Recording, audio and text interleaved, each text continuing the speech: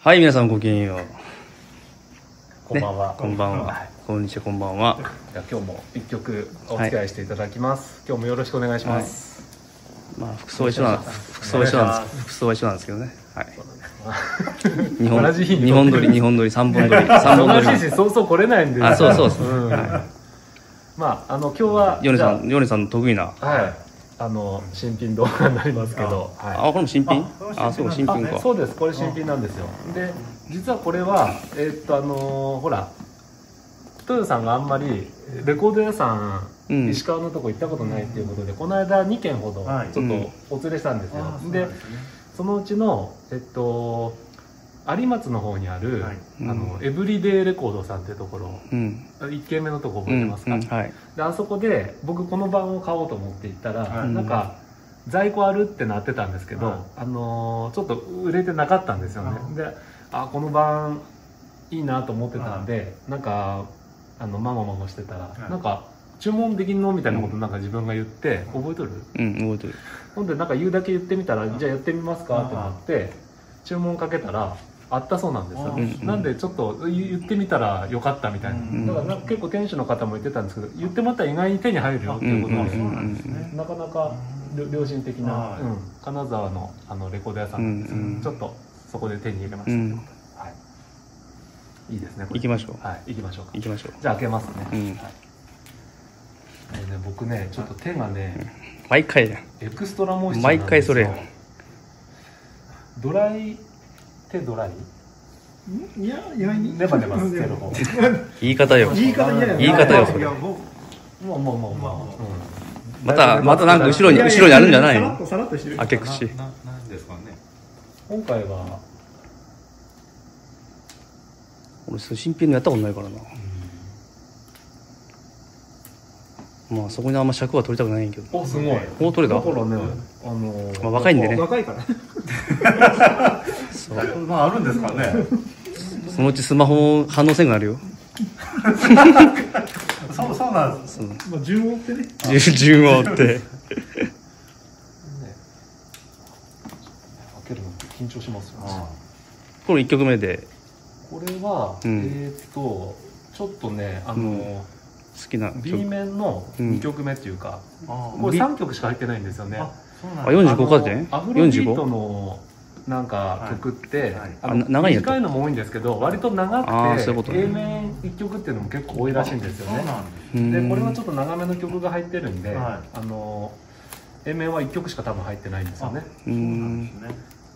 そしてちょっとかけてみましょうということ開かないですね。ここから引っ張り出せないんで。このなんかとこいるんかなと思いますよね毎回。開けてうん開けて撮った方がいいかもしれないねいや、別にいいんじゃない？いいんじゃないですかリリアルで嫌な人は飛ばせばいいし。はい、もう、もう きました。じゃあ、ちょっと、行ってみましょうか。はいじゃあ、B 面の2曲目をお願いしうんます。はい。